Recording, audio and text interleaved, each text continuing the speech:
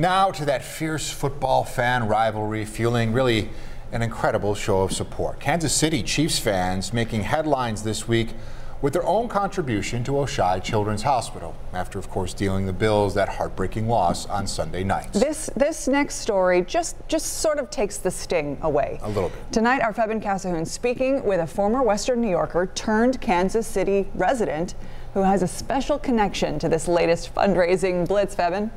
Jeff and Ashley, Bills fans, Chiefs fans, and supporters nationwide continue to donate at Oishei's Children's Hospital, a hospital that shares a special place in Sara Jawhari's heart. She was a patient there in 1995 after being hit by a car when she was just five years old. To see our fan base fundraise for a different children's hospital and one that I have such a strong, deep connection with, and my family does, is just beautiful. Support for Oishei Children's Hospital continues to grow by the minute. It's something that stemmed from a Chiefs fan who wanted to support the Buffalo Bills and its community following Sunday's heartbreaking loss to the Chiefs. It's really so heartwarming, and I'm so proud to be part of a community that has had another community respond in kind. Currently, Oishei is treating more than 150 children. Getting help in the way of donations assures us that we can buy the right equipment, have the right staff in the right moment at the right time, and you never know when that's going to be. For a former Western New York native like Sara Jawhari, the Children's Hospital and its staff literally saved her life in 1995. A Grand Island girl was rushed by Mercy Flight into Buffalo and then transported to Children's Hospital tonight.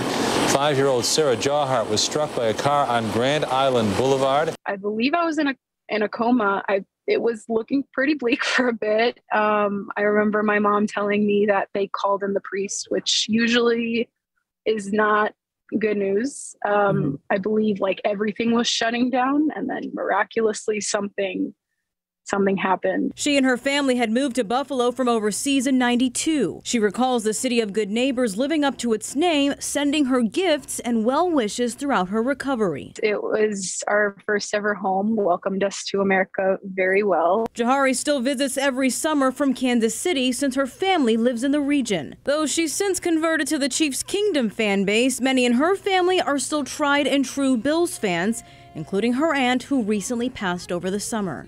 I can't deny uh, somewhere deep inside of me really wanted this win for the for the Bills, just so I could continue to see their smiles um, and their excitement after just a really tough year.